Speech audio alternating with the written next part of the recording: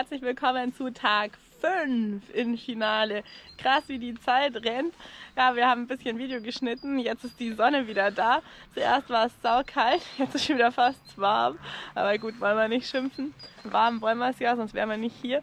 Und damit geht es für uns jetzt auf die 24-Stunden-Strecke und Downhill, Donne und Uomini. Schauen wir mal, was wir so schaffen. Und wenn wir dann noch motiviert sind, wollen wir vielleicht nochmal. Das werden wir dann nochmal in 24 Minuten fahren, gell? Und nee, dann fahren wir vielleicht nochmal mit den E-Bikes den Rollercoaster. Also sozusagen nach den 900 Höhenmetern nochmal hoch, weil der uns sehr, sehr gut gefallen hat. Und der wirklich wie so ein Pump-Track. Also man kann sich wirklich so von Hügel zu Hügel schubsen. Ja, das war echt sehr cool gestern. Aber jetzt müssen wir schauen, dass wir loskommen, sonst wird es nichts. Heute haben wir übrigens Frühstück geholt. Heute war mal faul, haben wir nicht selber Kaffee gekocht. Das war auch ziemlich cool. Für 1,50 Euro. Der Cappuccino. Er traut sich tatsächlich und bringt das Tablett mit dem Radl runter. Und dann ging es auch schon abrupt los mit dem Uphill im Trail, quasi direkt hinterm Campingplatz. So, jetzt sind wir genau. Hallo liebe Zuschauer. Jetzt sind wir bei Petras Spezialität. Bergauf, bergab. Genau, und damit haben wir schon gestartet für heute. Also die Auffahrt hier ist echt, da kommt man sich vor wie so ein Ritter damals. Verrückt. Das ist der erste von drei solchen, in Anführungszeichen, Mini-Uphills. Und der ist schon mal ziemlich abwechslungsreich. Und falls ihr euch jetzt denken solltet, das interessiert mich so gar nicht, ich will Trail mit Aussicht sehen, dann geht weiter nach hinten, so auf Minute 10 ungefähr, weil da kommt dann der Downhill und das ist mit mega geiler Aussicht. Allerdings wollten wir ja einfach ein bisschen mehr, schon wenn wir schon unterwegs sind, äh, richtig was erleben und von dem her haben wir einfach so eine Tour genommen, ähm, die hieß 24-Stunden-Strecke, erweist sich dann aber noch als nicht ganz so toll, deswegen verlinke ich euch die ausnahmsweise mal nicht. Aber in Summe war es ein richtig cooler Tag. Rechts sagt die leider. Hui, wow. Wow. Jetzt sind wir zur ersten Station hier. Hier gibt es schon mal ein Bierlege. Leider nur ein Becks, aber besser als gar nichts. Weiter geht's, oder? Hast du auch schon eins getrunken? Nein, ich ernähre mich ja eher von Schokolade. Und Flüssiges. Gold. Schreibt mal drunter, was ihr so mögt. Harte Währung. Für alle, die planen, das nachzufahren, da muss man auch ein bisschen Trail hochschieben. Nur so zur Info. Mit dem E-Bike voraussichtlich nicht alles fahrbar. Also vielleicht in dem Fall sogar schlauer Bio. So, jetzt sind wir wieder auf einer Straße gelandet. Sowas aber auch, ey. Mal schauen, was der Trail jetzt dann hergibt. Wow, schaut mal, was für ein Aussichtspunkt. Hier ist eigentlich irgendwie Absprungplatz für Paraglider, aber der Trail geht auch direkt hier vorbei. Ist mega. So cool, man sieht sogar direkt auf den Hafen. Jetzt umkehren. Das Handy will, dass wir umkehren.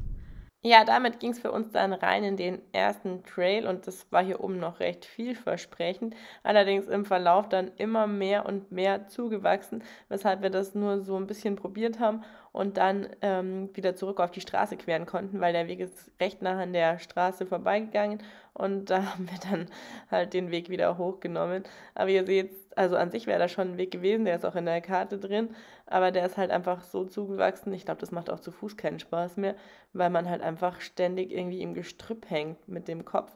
Hier bei uns dann noch schlimmer mit der Lenkstange und dem Kopf.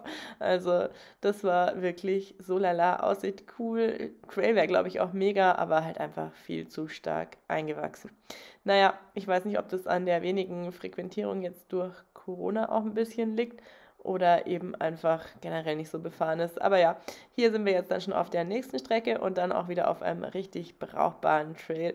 Und da wieder mega Aussicht und ein echter Trail. Da waren dann auch zwei einheimische Enduro-Biker vor uns und ja, hat da schon wieder alles gepasst.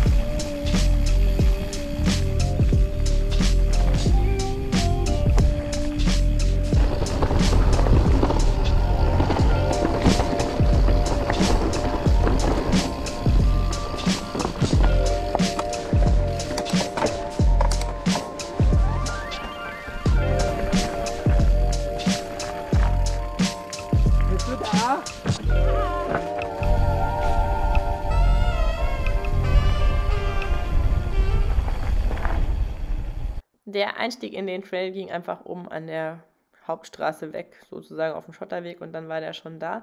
Und dann ging es durch einen Campingplatz wieder hoch, der allerdings noch geschlossen hatte. Und dann sind wir allerdings auf der offiziellen 24-Stunden-Strecke gewesen und die ist auch so richtig als 24-Stunden-Strecke beschildert. Da kommt man kaum mehr aus. Das gehört da auch mit dazu. Ich finde auch diese Trails sind gar nicht so leicht teilweise, allerdings halt schon natürlich rauf und runter, weil ähm, wer schon mal 24-Stunden-Rennen gefahren ist, der ist, das ist immer so ein Rundkurs. Ich habe auch schon mal bei einem mitgemacht. Das war sehr cool. Das sind immer irgendwie zwischen, ja, irgendwie fünf und sieben, vielleicht mal zehn Kilometer mit ungefähr pro Runde so um die 300 Höhenmeter. Ist natürlich von Strecke zu Strecke unterschiedlich, aber auf jeden Fall kann man da dann innerhalb der 24 Stunden schon ordentlich Meter und auch Höhenmeter sammeln. Und deswegen ist es immer so ein Rundkurs mit rauf und runter eben. Ähm, ja, für uns geht es eben hier auf dieser Strecke noch ein bisschen weiter, bevor wir dann nochmal auf einen richtig coolen gebauten Trail kommen und dann zum Abschluss eben von diesem Tag endlich diesen Downhill Donne finden und fahren. Und der hat halt einfach gigantische Aussicht. Daran konnte ich mich noch erinnern. Das ist zwar schon acht Jahre her, aber das vergisst man nicht mehr. Daran konnte sich der Nico erinnern. Ähm, bei dem ist es nur drei Jahre her. Aber ja, das ist einfach mega beeindruckend. Der ist relativ schwer, halt wirklich mit viel losem Geröll, aber der taugt mir total. Das ist absolut das, was ich liebe. Und am liebsten wäre ich den dann gleich noch und noch und noch mal gefahren. Aber ja, lasst euch mal überraschen, was wir noch so alles treiben.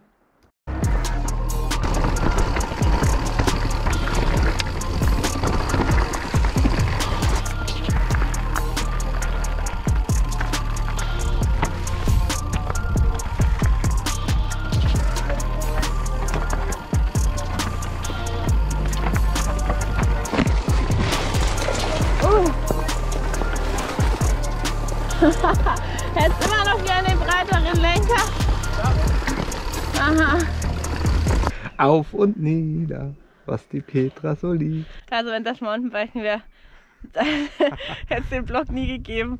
Aber das wäre schön, immerhin.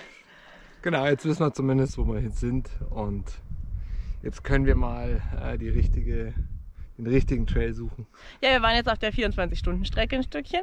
Da wollten wir ja hin. Und jetzt geht's auf die Downhill-Strecke. Also so, So falsch schaut es das aus. Ja. ja gut, dass wir uns täglich am Campingplatz schon vorbereiten für diese Auffahrt hier. Mehr oder weniger freiwillig. Die ist mir nicht gut in Erinnerung geblieben. Das bringt die Kamera nicht so ganz rüber, aber es war unglaublich steil. So, Nico bereitet sich jetzt auf seinen Uphill-Erfolg vor.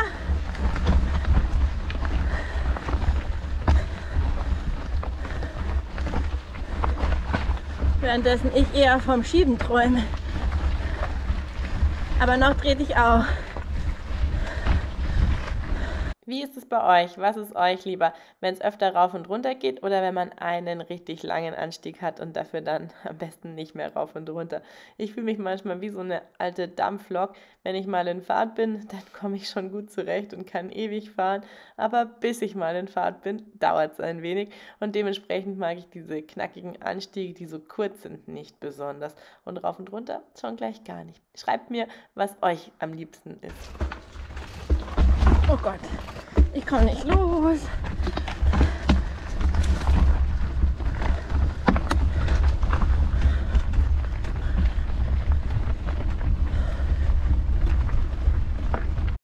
Das Gute an dieser äh, ja, Lemanie-Runde würde ich schon fast sagen, das ist eben so ein bisschen die andere Seite von Finale. Nicht da, wo die NATO-Base ist, sondern die andere Küstenseite hat ja nur diese kürzeren Anstiege und dafür aber immer wieder coole Trails runter und dann halt diese mega Aussicht übers Meer. Na, auf jeden Fall ist das der Toboga Trail. Der wurde 2014 renoviert und seitdem gehört er zu den Top Trails in der Gegend, habe ich gelesen. Und auf jeden Fall macht der richtig Spaß. Hat super Kurven, da man einfach nur durchpitchen kann. Der ist halt nicht allzu lang und hat keine Aussicht. Ähm, dementsprechend mag ich sowas wie den Downhill dann einfach lieber.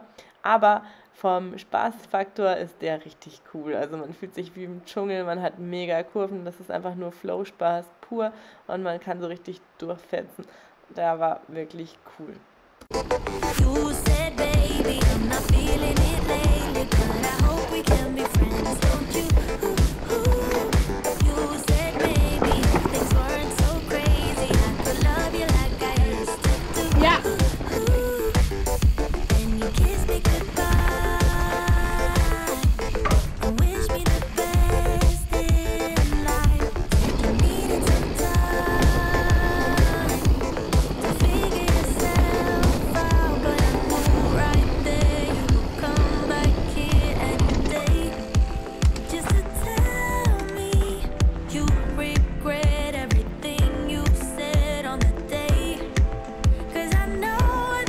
weil dieser Apfel so viel Spaß gemacht hat, machen wir ihn gleich nochmal. Juhu! Petra wollte es unbedingt. Unbedingt! Vorher haben wir euch die Aussicht vorenthalten, weil wir einfach durchgetreten sind. Aber es sieht schon sehr cool aus, hier der Kamm. Das sind nur so 200 bis 300 Höhenmeter, aber cooler Ausblick.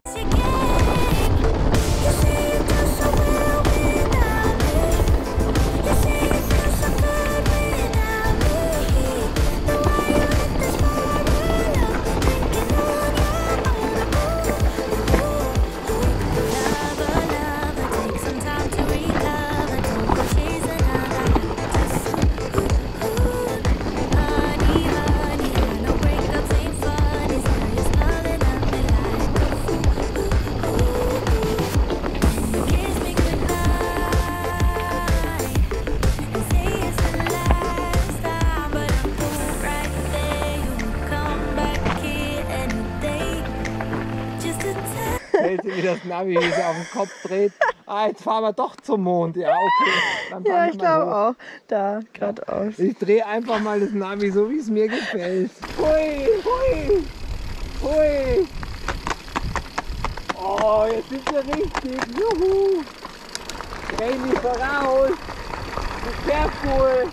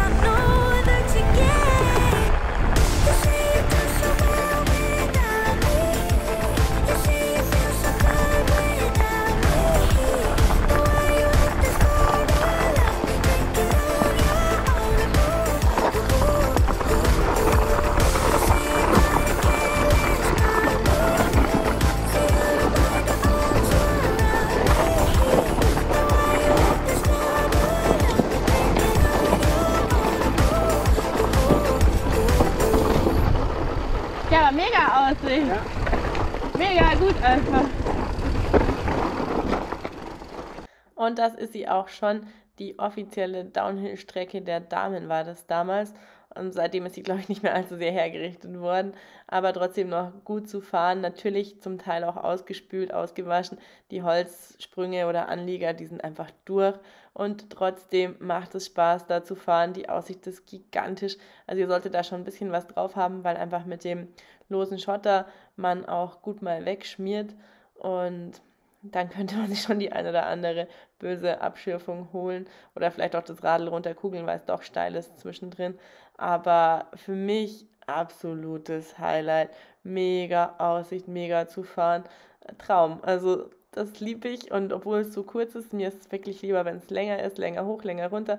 Das ist für mich absolut wert, genau das zu machen, weil mehr geht nicht. Also schaut euch das mal an. Das Meer geht direkt in den Himmel über und dieser geile, zum Teil auch wirklich technische Trail, Downhill, also Wahnsinn, einfach nur traumhaft. Sowas macht mir richtig Spaß. Geil, du warst!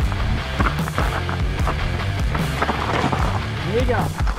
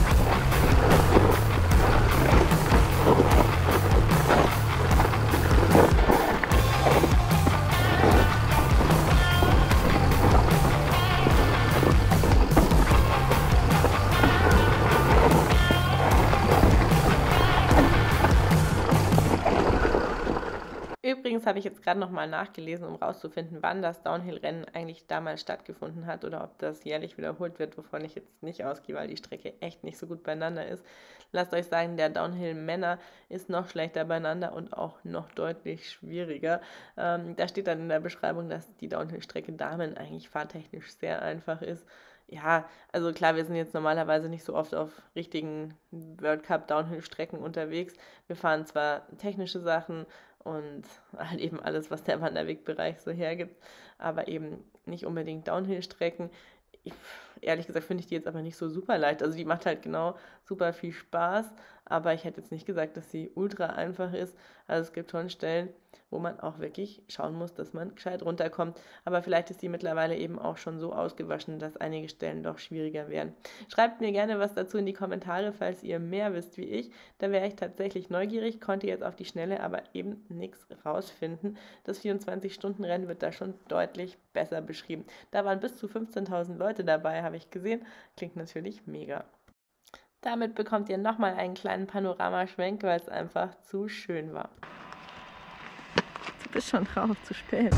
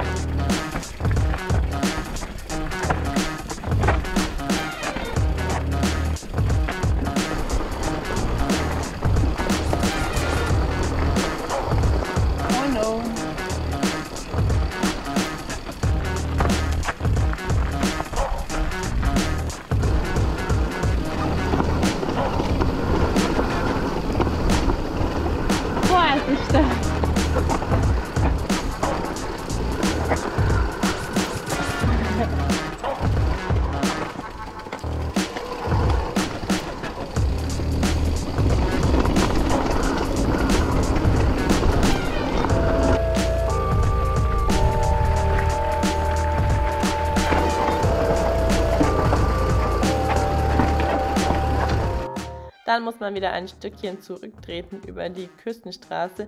Da war bei uns jetzt nicht viel los, dementsprechend war es überhaupt kein Problem, sondern eigentlich auch wirklich sehr schön vom Panorama her. Durch zwei so Mini-Tunnels geht es durch, die sind aber gut beleuchtet und ja, man sieht eben super übers Meer. Das sieht man jetzt bei der Kameraposition leider nicht so gut, aber wenn man da radelt, dann ist es richtig cool. Ja, wie am Anfang vom Video verkündet, wollten wir danach ja noch eine Runde E-Bike fetzen und das haben wir tatsächlich gemacht, auch wenn es oben düster war. Da sind wir. Wir haben es tatsächlich noch getan. Es wird allerdings der normale NATO-Based Trail. Wetter ist asslig hier oben, aber ansonsten war der Tag ja mega cool und wir konnten es nicht lassen. Wollten noch mal eine Runde drehen, mal schauen. Vielleicht ist es unten ja sogar besser, wenn wir aus dem Nebel rauskommen. Was denkst du? ei, ei. So ein bisschen unheimlich hier, oder? Ja, voll sticky. Schauen wir, dass wir runterkommen. Genau. Wir sind gut angekommen und auch schon beim Essen am Strand. Sie wollte ja nichts Wieso? Ich hab doch was. von meiner Pizza. Er hat gesagt, er will Teil. Ah. Ja. Genau. Also, wir hoffen, das Video hat euch gefallen. Lasst uns gerne einen Daumen nach Ja, oben da. ja, hallo. Und dann bis zum nächsten Mal. Tschüss. Da rennt ein Hund. Was